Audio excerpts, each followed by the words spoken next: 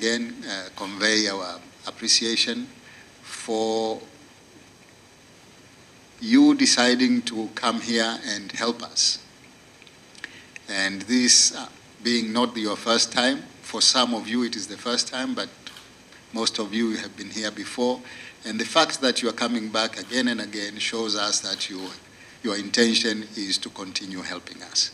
So, uh, as president, I thought it is important for me to uh, tell you in person that we appreciate very much the good work that you are doing. We are still sending abroad a lot of patients. Some we are sending to Dar es Salaam, but some we are sending abroad because we do not have the expertise to do those surgeries here.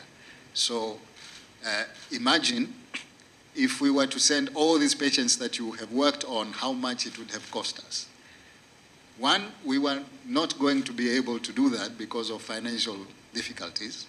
But the fact that you are coming all the way from your countries, from Egypt, from Saudi Arabia, from Romania, all these places, when you are here, you can help a lot of people.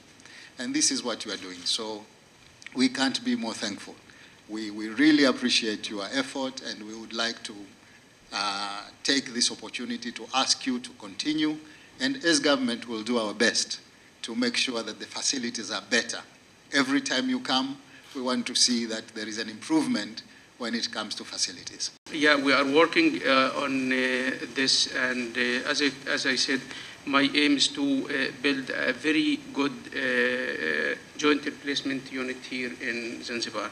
So, yeah, definitely we need your support and we are trying to do our best to do this. During the procedure, we feel we are in the, our OR time, and uh, the people, even during the surgery, they are very polite, and they are very soft, and they want us to do more cases and more cases. Why?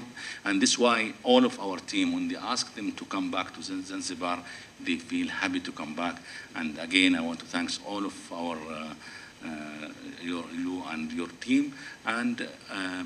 And uh, today in this mission, we have also Direct Aid. It's the first time we have collaboration with them. And the promise you, inshallah, we'll send to you our program from Bilix, how we can help in Zanzibar in subspecialty with the expert uh, professor and surgeon in the future, inshallah. inshallah.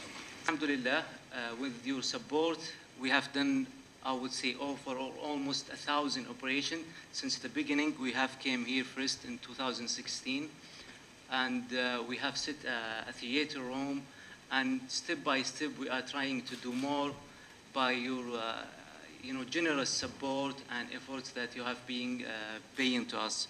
We come here and train local people as well. Yes. Uh, starting with cleaning people, nursing people, doctors and so on. Absolutely. Maybe we can find a way and in the same time that we come and work to do a bit of teaching for them as well. That we didn't do before, including thyroidectomy. Now at WET, there are people that can do thyroidectomy, thyroglossal cyst removal. I myself, I initially I was not able to do cystectomy. Now I can do cystectomy, I can do mammectomy, I can do hysterectomy, and uh, I'm better assistance more. And also there are people who can do BPH, prostatectomy, which initially they were not doing. It was not done in Pemba. So now it can be done. And also they plan to facilitate to send one person to do urology so we can have all doctors available in Pemba. This time, no more bleeding, and more the patient will be happy, right? and mainly patient can be discharged within three days comparing with the open surgery which is 10 days which is uh, I think is perfect for them right and thank all of you thank for you. Uh, inviting here, us here and you are welcome